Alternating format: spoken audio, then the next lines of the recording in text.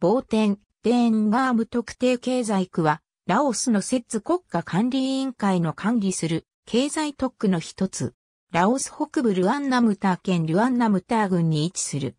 2003年12月9日に当初は、ボーテンデーンカム国境貿易区、ラオス語として承認された。その後2010年2月に、ボーテン黄金城特別経済区、ラオス語に格上げされた。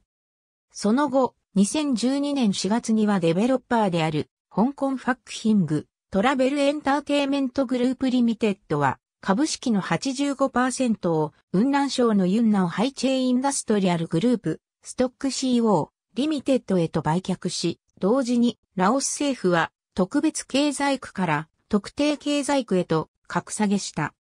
ボーテンデーンガム経済特区ルアンナムター県、ルアンナムター郡、ボーテン、村デベロッパーは、ゴールデンシティグループで、香港の香港ファックヒング、トラベルエンターテイメントグループリミテッドと雲南省のユンナムハイチェインダストリアルグループ、ストック CO、リミテッドによる JV である。http コロンスラッシュスラッシュ www.laosboten.com スラッシュ。ありがとうございます。